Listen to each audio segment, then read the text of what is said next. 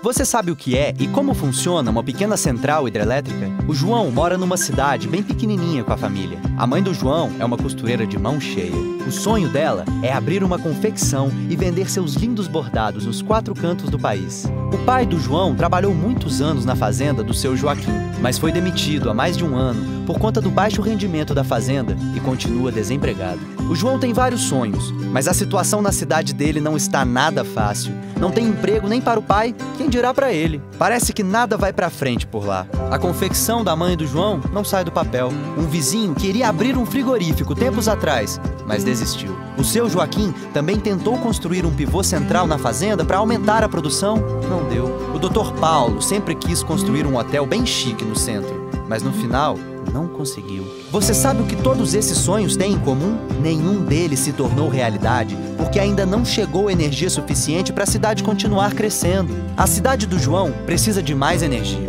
Mas de onde será que ela vem? Existem várias formas de se produzir energia elétrica: queima de petróleo, carvão ou gás, fissão nuclear, luz e calor do sol, até mesmo o vento e o movimento das águas de um rio são capazes de gerar eletricidade. É isso que faz uma pequena central hidrelétrica, a PCH.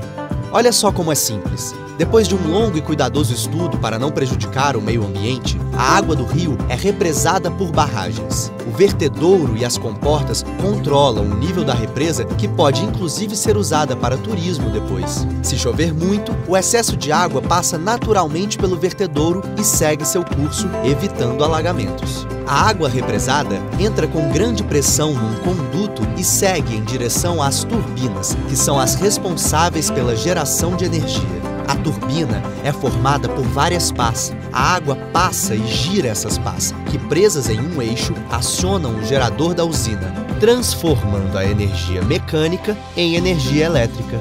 Depois, um transformador aumenta a tensão da energia, permitindo que ela viaje pelos fios e chegue até as casas, prédios, escolas, lojas e hospitais, levando conforto, segurança e desenvolvimento.